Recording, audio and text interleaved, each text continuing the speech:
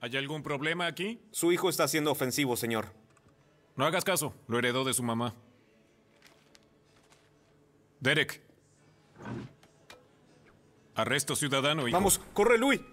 Mary, vamos. Tienes derecho a permanecer en silencio. Mary, vamos. Todo lo que digas puede y será utilizado en tu contra en la corte.